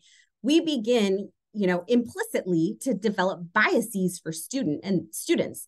And this is actually true on a larger level too. And I'm going to talk about how um, a lot of times we'll have implicit racial biases as well um, that we don't even notice that we have, right? And so this creates, you know, this gives uh, are these large language models a standard? It tells them what exceeds the standard, what meets the standard, and what needs improvement, and it lets them um, use the info or it lets them help you or allows you to assess um, not based on any of those implicit biases that we're developing. Um, and then this idea of focusing on higher level tasks. So, you know, being able to come up with creative activities and, um, you know, discussion questions and not have to be as focused on grading. Um, and so multilingual support. So this was actually something that um, that Zola added. So she did a little experiment. I'll let I'll let her tell you about that. Oh yeah, sure. So um I am a um, I speak two languages. I am from Sweden and I have been in the in the US since 2007. And um, I just thought it was interesting, you know, like what if I was to ever go back? Could I create these assignments in in Swedish? So I used um, ChatGPT to basically like I had already written out my lesson plan, my my slide information and things like that. And I implemented that in ChatGPT and I asked it, please convert this to Swedish. And it did such such a good job. Like it was just a, a few things here and there that I had to change, but even like my assignments, I have those translated into Swedish. And then I've done the same with, um, so I have a lot of Hispanic speakers in my courses. And so I've been able to also recreate assignments in Spanish for these students to kind of help them look at words that they might not be super familiar with. And it's done a really good job. Obviously, I am not not actually uh, you know i don't speak spanish so i also also always have to kind of provide that little that little note, right? That I, am sorry, like I've I've had ChatGPT create this assignment in Spanish and it's been translated. So I apologize if there's anything in here that might not seem correct. But um, when it did it in Swedish, it did a really good job. So I could at least see it from from that language perspective, right? Thanks, Zola. And then the last thing I wanted to talk to you about is the ability for ChatGPT to generate data and insights about students. And we always talk about this idea of like molding the learning experience to individual students. And I think for a long time we felt like how do you do that when you have a class of 45 students? Well this kind of allows us to do that because it's always generating um, you know really robust data on how our students are are doing and what they're learning versus what they're not learning um, what they're struggling with right? What most of the class is struggling with versus versus maybe a little bit less. Um, and so this can be a really great tool in terms of molding the learning experience. Next slide Okay. So um, now we've talked about some of the benefits for you uh, for you as an educator, but then also some of the benefits for the students. Then I mean, it really goes hand in hand, and and like the the really big thing here that it comes down to is just making sure that we are incorporating unbiased assignments, unbiased quizzes, and then really providing more equitable outcomes, right? And then same within our grading. So um, we have the ability here to then create create assessments that better measure true knowledge and skills. We have fairer and more equitable assessments. Um, we have fairer and more equitable grading, just like Ashley mentioned. There's been proof that there is a lot of bias in our um, in our grading. Uh, if we have, you know, favorite students, if we have students that like never show up to class, but all of a sudden they're producing this like exemplary work, and we're wondering like, is it their own? You know, we have all of these things going on, so it might always be equitable. So um, utilizing AI to assist you, again, not doing it for you, but assist you in your grading, you might be able to then see some things that you weren't considering otherwise.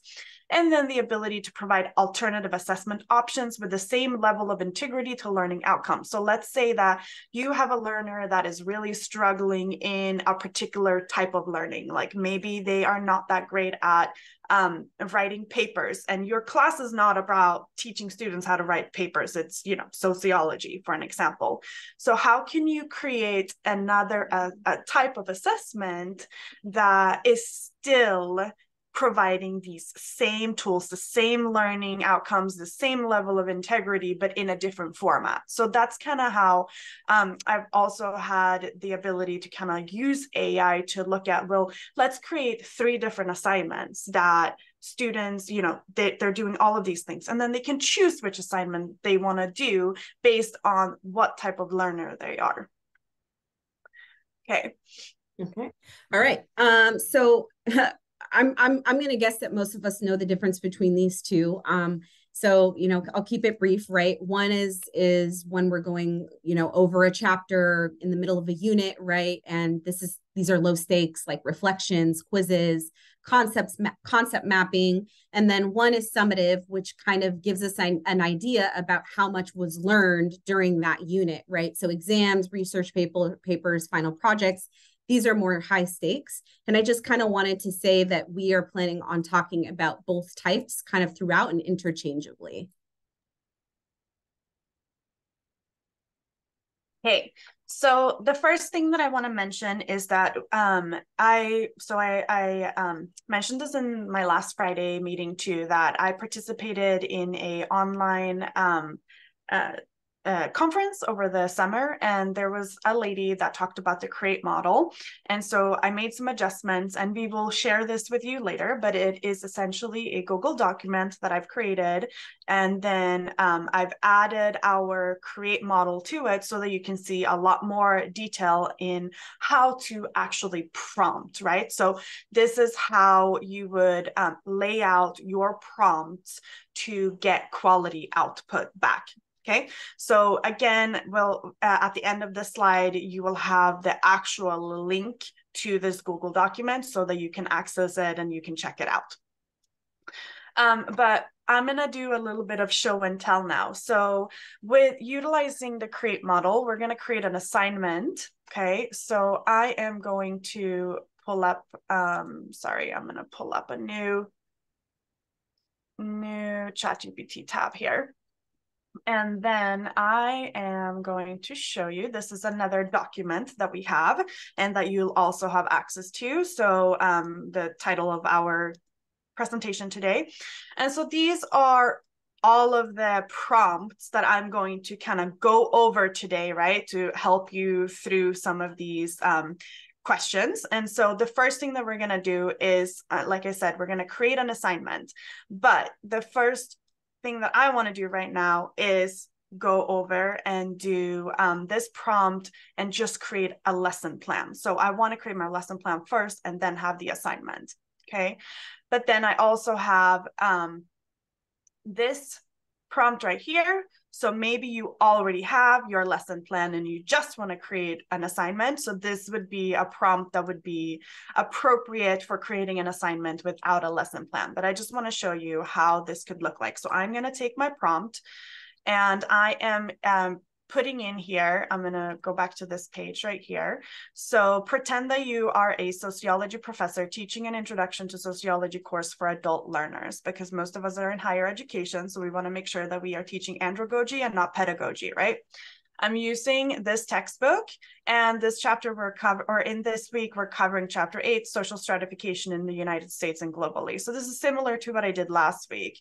But then we're going through the entire create model so all the things that we might need and then i'm asking it to help or help create this lesson plan. So here we have a 70 minute lesson plan on zoom because this is what i asked for.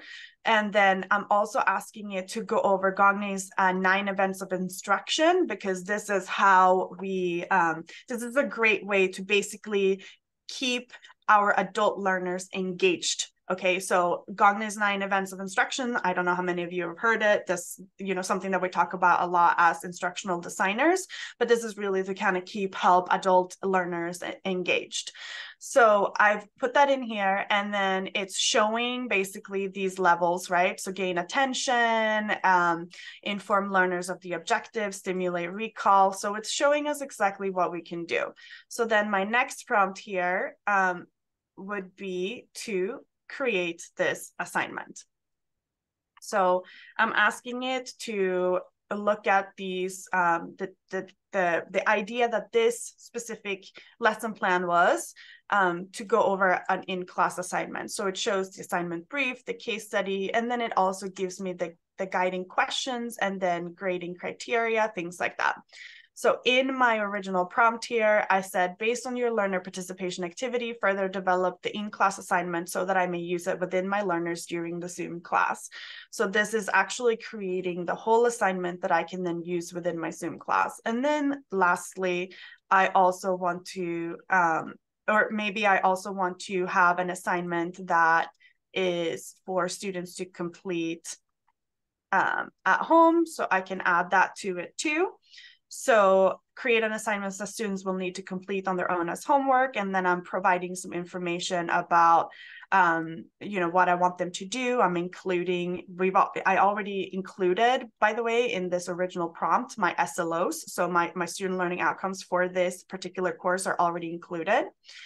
And then, so make sure that the assignment is both culturally relevant and unbiased. So I'm already stating that in here, okay? Uh, develop a grading criteria where the total point of the assignment is 50 points. And then this is just, sorry, this is for additional information. So if you wanted anything else, you could add that here, but I'm not gonna do that for this particular assignment.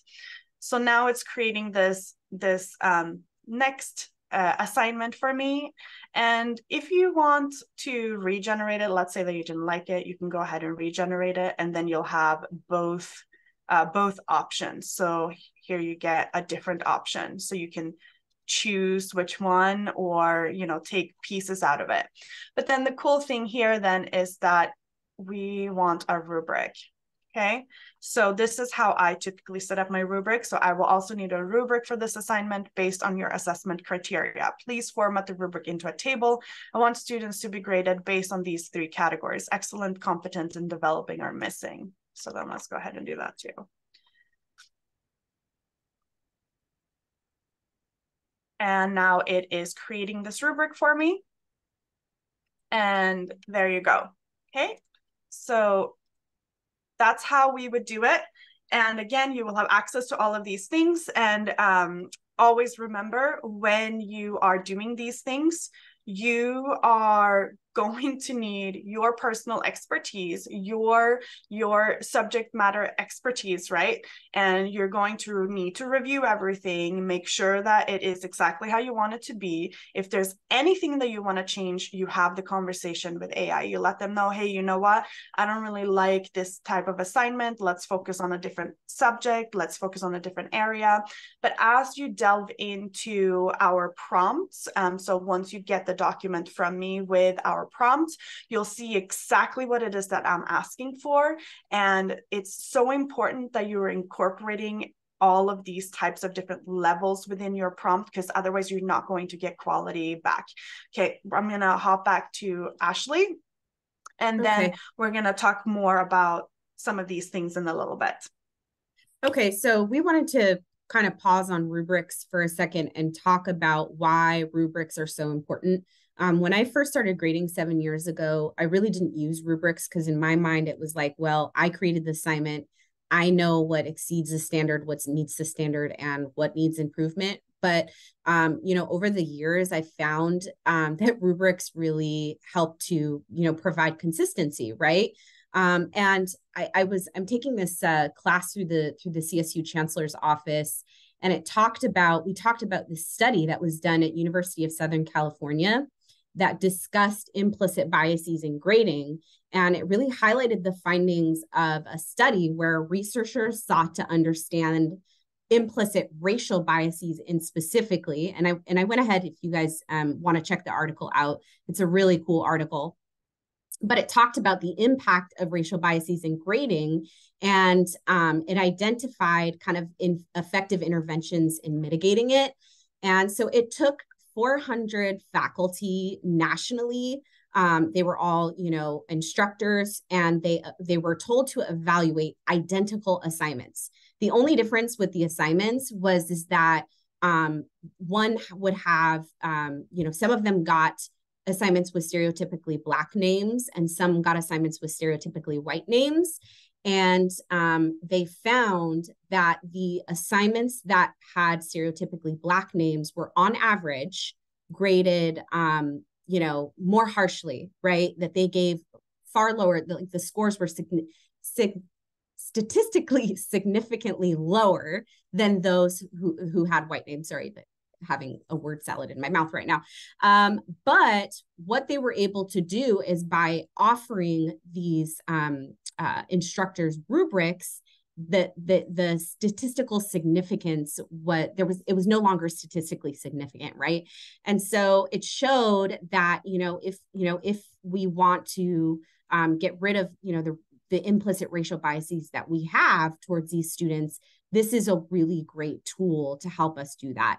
Um, it also helps um, encourage learning and understanding, right? Um, so in Canvas, um, if you've ever used like the rubrics link, right, where it, it, it will like break down everything that we're looking for, that is a really great way for, stu- for, to provide students feedback in every single area of their paper what we're looking for what we're you know trying to help them avoid right? And so that they get an idea about how to perform better uh, going forward. So we really wanted to point that out. And i know zola kind of showed you how she built rubrics but we did create our or i created a video that kind of goes step by step. So we wanted to go ahead and share that you how we can create rubrics using artificial intelligence for anti-biased, anti-racist, high-impact pedagogical practices. So stay tuned for this tutorial. Step one to building your rubric in AI is to define your learning outcomes. And at this point, I'm assuming if you have an assessment tool, you already have your learning outcomes. So if it wasn't built in ChatGPT, then you're gonna wanna let ChatGPT know what it is. The learning outcome I used is assess and analyze how the brain retrieves and processes information from the working memory using recent personal experiences, specifically using Baddeley's model. Now we're going to break that learning outcome down into specific criteria. So, was there evidence that they offered using their own personal experiences, or um, how did they analyze Baddeley's model in relation to themselves? For the purposes of this tutorial, we're going to keep our rubric structure really simple. It either exceeds standards, meets standards, or needs improvement. Here you'll notice that I added that uh, key criteria that we talked about. Um, students should provide evidence of their personal experiences and how they parallel with tasks involved in working memory and demonstrate their ability to crit critically analyze how these cognitive tasks are being processed. I also have my rubric structure and then my descriptors, which um, Students should demonstrate a thorough understanding of Baddeley's model, cite specific information to draw parallels from the textbook to their personal experiences. During this step, you get to translate those descriptors that we just made into point values, and you also get to ask ChatGPT what, what you want your rubric to look like. For my grading key, I've asked uh, ChatGPT to format it into a table, assign five points to each category for a total of 15 points possible. Now that we have our prompt all ready to go, we can go ahead and click on the enter button and see what it generates for us. As I look through uh, the rubric, I do notice that there's already a mistake. The point value doesn't actually add up to 15 points, and that was likely due to an error that I made while creating my prompt. So it's again, this is a really good reminder to double check everything before putting it into Canvas or publicly posting it for students. That is all for our video tutorial for today. You can find the step-by-step -step on how to build out your rubric on ChatGPT in the comment section below. And you'll also find some extra tips and tricks that I didn't mention in the video. Please make sure to like, follow, and share our YouTube channel, The Higher Ed Institute, or follow me on Instagram at The Relatable Professor. Thanks for tuning in. All right. Okay. So uh, a couple of things that I didn't talk about in the video just because how we can create rubrics using art. Sorry. All good. Uh, so a couple of things. I, all good. All right, ready? Okay, so a couple things that I didn't talk about in the video just because I like to keep those video tutorials uh, pretty short. I just feel like I have uh, a little bit of ADD when it comes to watching things, so I assume everybody else kind of has a short attention span as well. Um, if you plan to use AI to assist you with grading, you need to train it using the rubric, right? And I know Rodrigo did talk a little bit about this, and so did Zola. So I'll keep it brief. But um, one thing that I do is, is that I provide examples. Like, so let's say I, I have students do a reflection, I provide examples of what the really good reflections are that I'm, you know, how, um, you know, what types of things that I'm looking for in these reflection responses, um, and then how I would respond to them if I was grading them all by myself. Um, and then there's this idea of testing and adjusting. So before using ChatGPT for actual grading, you want to test it. You want to test it out, and then you know maybe tell it, you know, I I didn't like uh, you know that verbiage that you use. I, I don't normally say that, or I wouldn't have included that, or maybe um, that's a little bit too deep for their understanding. So, um, you know, let's reevaluate Baddeley's model, right? And then um, you know, grading student reflections. So you're going to use ChatGPT alongside the rubric to grade the student reflections. Um, I always add in my own, you know, my own input. Like I don't just rely on these large language models because as we've talked about in you'll hear over and over again um, there's going to be things that don't make sense. And I, I, swear it's it's the funniest thing when whenever um, you tell ChatGPT that it didn't do something wrong it'll be like oh my bad. This that was my oversight right? And so it, it it'll catch it right away like okay i didn't know that you wanted it that way or you know next time i'll do better right? Um, but just know that you know just because it sounds really confident it might not be exactly what you're looking for. Um, and then want to continue to do uh, this review for you know accuracy and fairness and um, you know just to be able to make sure that it's aligning with um, everything that you're looking for. Um, so yeah. Next slide. Um yeah sorry. Okay. So um how would this actually look like then? So we're just gonna kind of again look at like how we could do this. Um, hold on, let me pull this up again. I'm gonna just do a, a new new version here. Um, so we again start with our rubrics, right? Um, so here we um, are asking to take on the role of a sociology instructor. So I, I've made these a little bit different so that you can see that your prompts don't always have to look exactly the same. Like, you know, at the stop at the top here, we said pretend that you're a sociology instructor. Here, we're just saying take on the role of a sociology instructor. And um, we're going to specifically look at uh, sociology at a college for a diverse audience of adult learners. And here you can implement too like we had a comment in the chat like how does it know if it's culturally biased or not? How does it know if it's culturally relevant or not? Um, and so we can actually input some demographics here too if we wanted to do that and talk about like what type of students we have in our course so you're grading an assignment on analyzing the role of culture in students' personal experiences. You will be provided the, the assignment instructions and grading rubric. Um, okay, hold on, let me, let me do this real fast. I think I actually had started this just so that you didn't have to watch me do it, but I might have missed it. Um,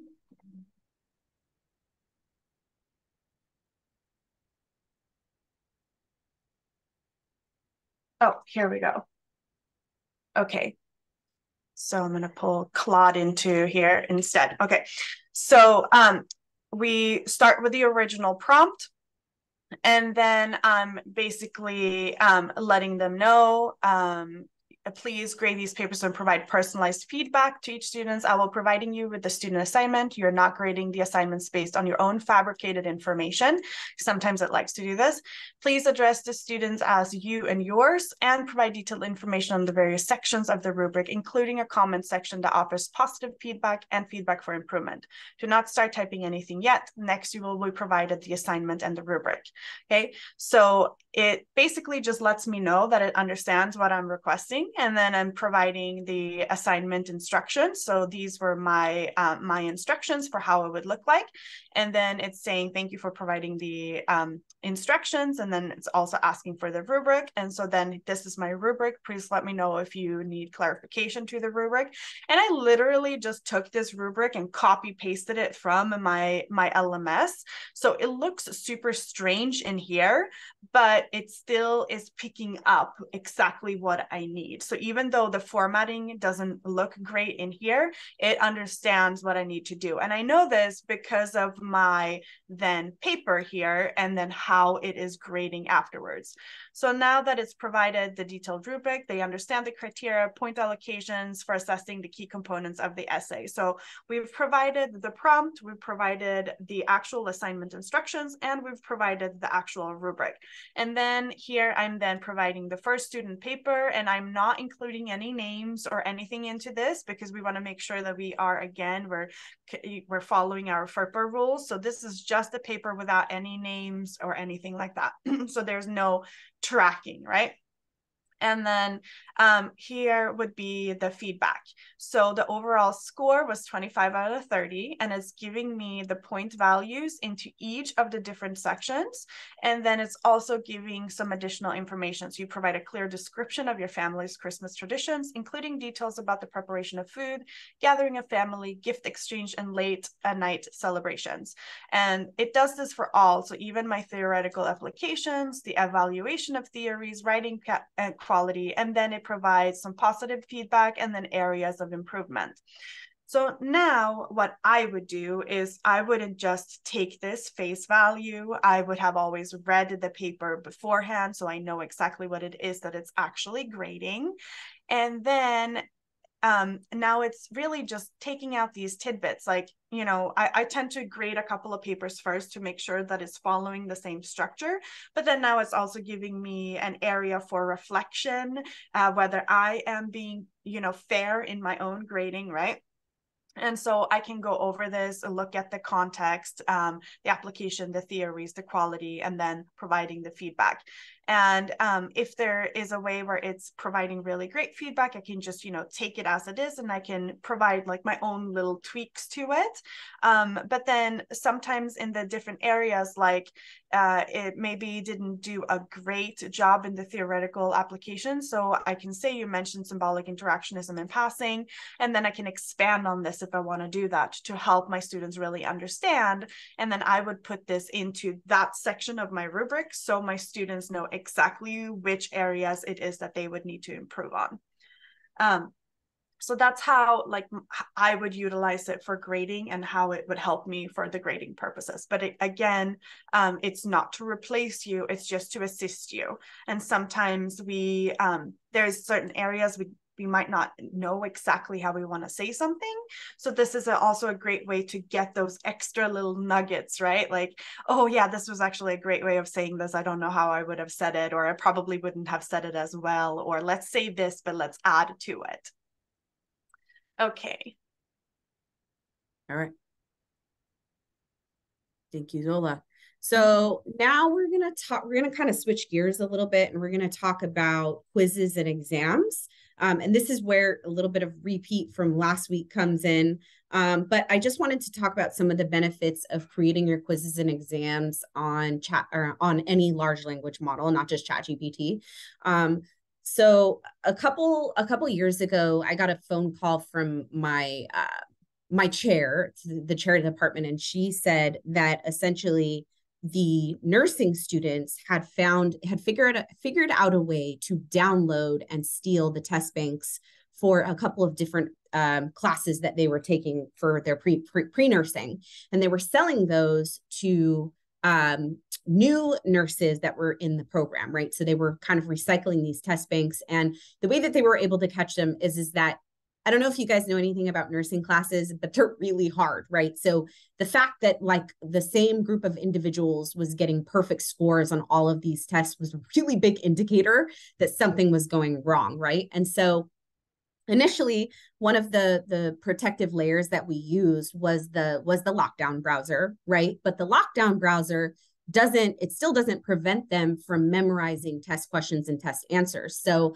what i love uh, uh about um, you, using you know ChatGPT or perplexity or whatever large language model i decide to use is is that i can create new questions every semester and it doesn't take me you know a hundred years to write you know a scenario question because i don't i don't like using those um like memorize and regurgitate questions that give me the definition. I, I don't think students learn very much from that. Um, i want to see that they can apply the concept not just that they're they're knowing it. So you know when i'm when i'm asking ChatGPT to create these questions i can ask for like really detailed scenario questions. And you know if i need 20 of them for a quiz i might ask you know, ChatGPT to create 50 of them, right? And pick out the ones that I like the most. Or I might ask them to regenerate completely and give me a whole new set of questions if I don't like those. Or I can take pieces of scenario questions and I can add my own bit to it, my own feedback, right? And so this was this is a really great um, uh, method to reduce cheating, right? Because they're never going to have access to those questions. Um, now, I am going to talk about one small exception to that um, in a bit. But um, first, I wanted to tell you about also about randomization. So sometimes I will allow students to use uh, their notes or their book to take my quizzes. And what I love about um, doing, you know, creating these quizzes through uh, ChatGPT or or Perplexity is that I can ask them to put them in random orders, right? So I might take section one from chapter two, ask them to create five or ten quiz questions, and then section two, and then section three, and then section four, and then tell me tell them to scramble all of those questions up for me. And it's really helpful to be able to do that, especially because I'm going to show you uh, another video on how to like directly upload those questions as a test bank. Um, and it what it does is it it kind of forces students to have to do a little bit of studying because oftentimes if they have access to the book or to their notes what they're going to do is they're just going to go section by section and they're going to try to find the answer that way right? And so this kind of pushes them hey i know it's open no open book but that's really only if you really can't remember something. It's not meant to be the end all to be all right um the other thing too is is that you one of the one of the tougher things that i've uh that i've struggled to do in the past is that little box in canvas that you know asks you to give them feedback on right or wrong answers. Um, so ChatGPT or ChatGPT or whatever um, AI model that you're using will do that for you as well. It'll say, you know, hey, you were right um, you know, and it'll explain the answer, or oh, you know, you got that wrong, try again, um, and it'll explain the answer for you. Just again, efficiency. It saves me a little bit of time from having to do that myself. And then that regenerate option. So I should say that, you know, for ChatGPT, if you click that regenerate button, um, it will keep the answer, but it'll hide it, right? So that original thing that it generated, it hides and then it regenerates it, and you can go back. But some AI models will completely delete whatever it, was that it gen- that output it that it originally generated. So if you like that, um, instead of asking it to regenerate, you can just say, "Oh, I'd like you know to, for you to give me a few more examples or to give me a few more test questions." Okay. Um, and then just a couple of reminders when you're creating these quizzes. So depending on which AI tool you're using, oh, so I talked about that, the regenerate button. Um, the second one is if AI gives you a question, know that that AI has the answer. So I learned this sort of the hard way. I, I was having um, students look at scenario questions in class in groups, right? Um, so I gave them each three scenario questions and I told them get in your group and talk about it. Well, one of the scenario questions they put into ChatGPT and they got the exact same answer. Um, and I don't block them from using artificial intelligence, by the way. So it was my fault, right? That I didn't say, hey, no using um, artificial intelligence. But it's just kind of a reminder that um, if you are allowing students to do like take home quizzes or you know open no open internet quizzes that whatever you create on these ai models um, they have, you know, AI is going to have the answer to it. So they're going to be able to answer that question for them. So just kind of keep that in mind um, as you uh, format however you decide to do your quizzes. And then um, we're going to just show you this next tutorial video, which you guys um, will hopefully find helpful when creating your, your quizzes.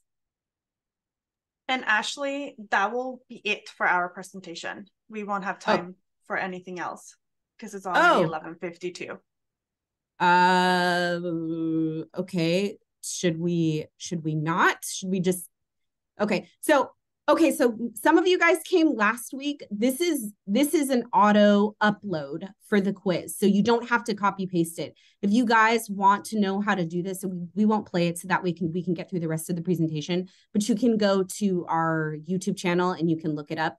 Um, it just saves a lot of time in terms of not having to like copy paste the answers Okay. Okay. Okay. So, um, hold on. Let me pull some of this out. And um, okay. So the, the last piece then that we want to talk about is assessment analysis. So this has to do with essentially like it could be your formative assessments, it could be your summative assessments, it could be so essentially like written material, discussions, any written assignments, and it could be like your quizzes uh, um, or exams, that that type of stuff, right? So um, AI can actually assist you in making assessments inclusive and equitable because it can look at these different areas. So analyze test questions, check for accessibility, review exams for cultural bias, evaluate reading level of assessment questions to make sure that they are actually on par with what type of a class you're teaching um, assess difficulty and cognitive levels of questions. So again, are you if you're teaching an introduction class, you want to make sure that you're not using like crazy hard material that should have been for like a master's student, right? Analyze results of past exams and then generate new test questions. And so this can help you with, with the analyze results of past exams. This can help you kind of look at then like if there are areas where your students have not been doing that great in, um, it can look at that and let you know, help you let you know that you have a couple of questions within your exams that might need to be reworded a little bit for clarification. And this is my why, or this might be why your students are struggling. So I am going to uh, look or show you a little bit about this, but some of the things that AI would need to perform an assessment analysis would be your course topic and subject, your learning outcome, your grade level, your demographics of your learners. So you want to actually include what type of students you have in your um, in your classes. So we're not just looking at culture and ethnic here, but we're also looking at age and gender, right? So we want to include all of these things. And then if you have any particular instructional materials, we want to include that too, your rubric or your criteria for grading. And then if you have it, any past exam data. You don't need all of these pieces all the time. Um, and I'm going to show you an example of how this would look like without all of these pieces. But still just give you an example. So I'm just saying, please analyze this introduction to sociology exam for potential bias or accessibility issues. So this is a quiz that I've taken from my Canvas from um, one of the like open educational resources, right? I've just copied the actual quiz and then um, letting them know um, that I want to look for potential bias accessibility issues and then provide an audit report. The exam is for adult learners in an introduction to social course attached to the course learning outcomes. Um, instructional materials and past exams for context but i didn't actually attach these for the purpose of this because it would be it would take too long but we can do that. Let me know if you find any bias in language content uh, assumptions or scoring. I did attach the the learning outcomes though in my text and then here is the analysis. So it's basically saying the exam questions generally align with the stated learning outcomes, covering the major sociological perspective, key concepts, and early sociologists. So it's talking about the language, content consumption, or uh, sorry, content assumptions, scoring consistency, suggested revisions. So provide a brief definitional reminders of examples for key vocabulary words and question stems. Um, so it's actually giving me some ideas of how I could use this to improve. And then I'm asking, please further analyze each question in this exam. So it's giving me some additional information, whether there is something that I could provide. This particular exam doesn't seem to have any issues. And then overall, the questions align with stated learning outcomes, content, no overt biases, and provide adequate content, context in most cases. So this is a great way to actually look at both your written assignments, your discussions, and your exams to see if for any reasons you might have implicit bias that you are not picking up yourself.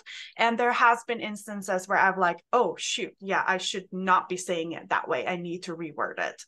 So hopefully um, you found value in this. Um, i do want to just show you real fast though that i sorry, that I do have um, all of this in here too. So these would be the different prompts for discussion questions, final projects, and for an exam. And then we can further look at our actual SLO alignments as well. So we would do the same thing, but now we're looking to align with our SLO. So we're providing the course names and topics just like we have before, the outcomes and prompts. And I believe that that is it. barely made it. thank you, Zola. Thank you, Zola, and Ashley, for your wonderful presentations. Uh, uh, Rodrigo, once again, thank you. Uh, uh, uh keep in mind that we will, you will be invited again, uh, with your permission, to present, and your emails will be full. once again, this conclude our presentation for today. Thank you. Have a wonderful feeling, and See you next week. Uh, I'm going to stop the recording.